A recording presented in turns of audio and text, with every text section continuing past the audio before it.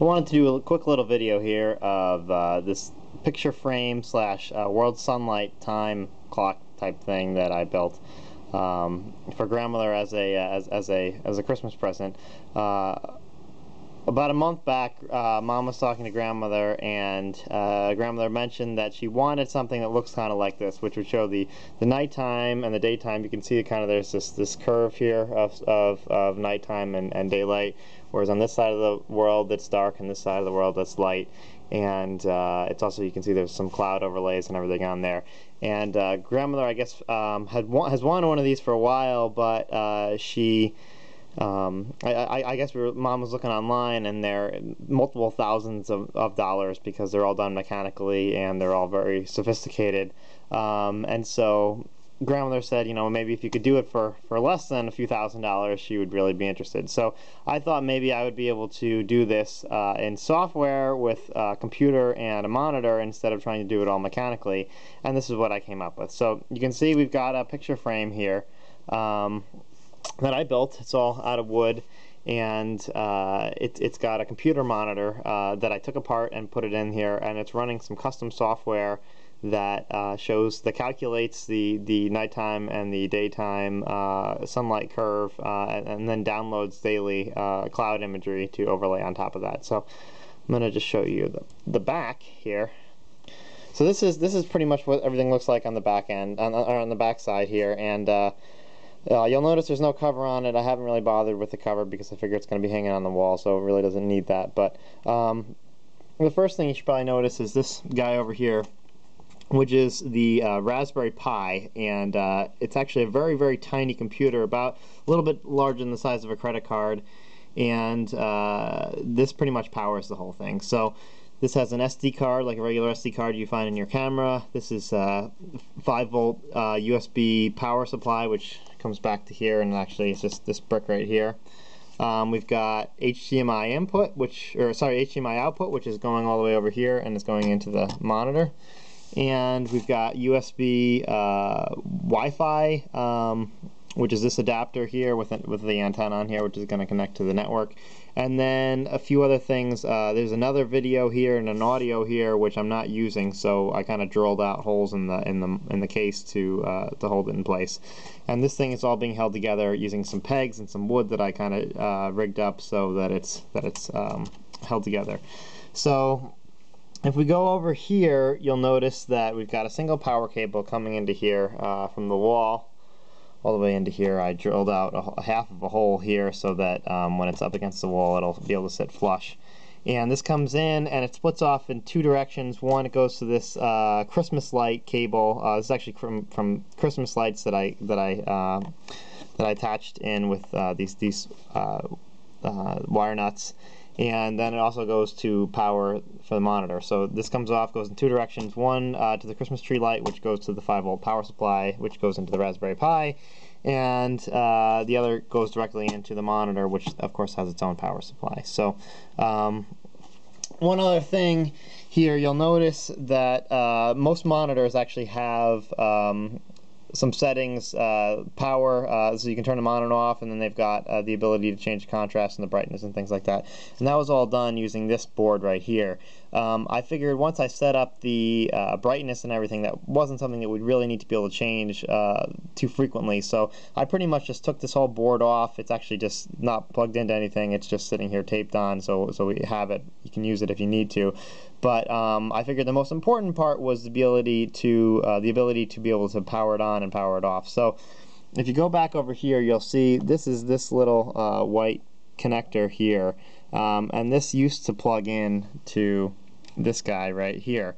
But after probing it um, with a voltmeter, uh, I figured out that this actually this power button here um, is simply just uh, connecting the first and the fourth pin, so the ground pin and, and, the fourth pin here. So what I did is I created my own little uh, connector using um, some stuff that I took off of, uh, uh, off of an old motherboard, and it actually connects the first and the fourth pin. It goes along this wire here uh, and goes to the switch that I put here, and so you'll notice that there's this switch right on the side. And so um, that's pretty much it for the whole thing. Uh, you'll notice that I I've got the monitor held in place by some uh, some pegs or some some dowels that effectively that I cut up with holes drilled in the side, so uh, they can't they can't go anywhere. Same thing over here on this side, and I've got a couple uh, screw hooks or to be able to hang it on the wall. I have some wire here that I'm going to use uh, at Grandmother's house. This is 100 pound um, hanging wire, so that should that should be fine. So once I put this back up again, you'll see there's the, the same view we were looking at before with the daylight and, and the uh, nightlight. You're actually seeing it refresh right now um, because every 10 minutes it, it, it recalculates uh, what what that image looks like and, and it redraws it. And uh, if I go over here to that button that I was talking about, this power button, if I press it, you'll notice it goes off. And if I press it again, it goes on and so we're going to have the Acer warm-up message and then obviously it goes right into that. So um, when it's off actually what it's turning off is the monitor not the not the computer. So the monitor obviously goes off. The computer never uh, goes off. But because it's such a low power system I actually uh, I actually checked this with a, with with what's called a Kill A Watt. It's this guy right here. Um, when you plug this in and with with the power on with the monitor on uh, and and the Raspberry Pi on it draws about 30 watts of power uh, with the monitor off and just the Raspberry Pi on as what would happen if you were just clicking the uh, the power switch that I put on the side. It only draws about 4 watts of power. So in the in the quote-unquote off mode it's really it is still drawing power but it's a very very small amount of power. And even in the on mode it's really not really not too much power. Um, less power, obviously, about half as much power as a 60 watt light bulb, being that it's 30 watts. So um, that's pretty much it for this, but this has uh, one extra little kind of neat trick um, in that it doesn't just do the world sunlight view um, because I figured that would be kind of boring if it only did one thing. So if I go on over here to my iPad and I unlock my iPad, you'll notice that I'm running an app here um, called Frame Settings, and it's got two different options on there. One is World Sunlight View, and the other is Slideshow View. Now, Slideshow View pretty much puts it into a view like any other digital picture frame, except that it's a very, very large digital picture frame as opposed to uh, like the, the 8-inch or the 4-inch frames that you can get uh, at the store. So if I just go ahead and click on world sunlight view here, I get a couple more options, and you'll see uh, there's a drop down for how many seconds I want it to be, but we'll leave it right here at 10 seconds. And I'm going to back up a little bit here so you can see both things, and I'm going to hit submit.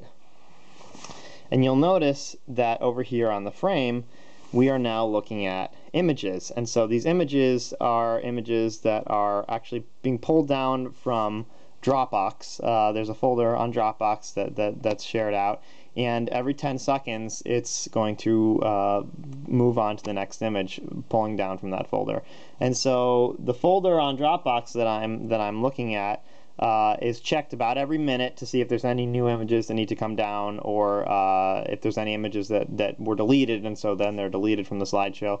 And once that happens, um, this is updated. So uh, constantly I'm rendering the daylight time image, uh, the sunlight image, and then also I'm checking Dropbox to see if uh, there are any new images which, which are then updated and pushed down onto the onto the picture frame. And I can show you what that looks like over here on my computer if you can see. We'll uh, go into this view here and we'll make it a little larger. All right, so this is this is uh, in Dropbox here. If I if I look at the uh, the path, we've got Dropbox and I've got a folder called Grandmother Frame, and so really uh, any image that gets put into this folder will then show up on the uh, the picture frame. So I can just go ahead and preview one of these images. All right, and uh, any another one here. And if I wanted to, I could literally just drag any new image onto this frame, or I could delete any image from the frame and uh, it, or from from this folder, and it would the same uh, effect would happen on the on the frame as as these guys are automatically wirelessly kept in sync um, using some custom software that I wrote. So but you'll notice that pretty much it's just it's just going through picture uh, after picture after picture and uh, that's pretty much it. So I'm gonna go back here to the frame settings app and just switch it over to the world sunlight view again. And you'll notice that there it is. So um, that's pretty much it. Uh, obviously, this could do a whole lot more. Uh, the, the, right now, we only have pretty much two modes, just the uh, the World Sunlight View mode and the slideshow view mode. But but in theory, we could have a whole bunch of different kinds of modes that would do all kinds of uh, different things like um, a five day forecast potentially. You could do things like a stock ticker or, or, or really anything, a Twitter feed, um, Facebook feed, or, or anything else uh, that you might want to be able to display on a screen. So, but right now I've got these two options, and uh, this is what I will be giving to grandmother uh, for Christmas for her for Christmas this year. So, all right, that's pretty much it. Thanks for watching.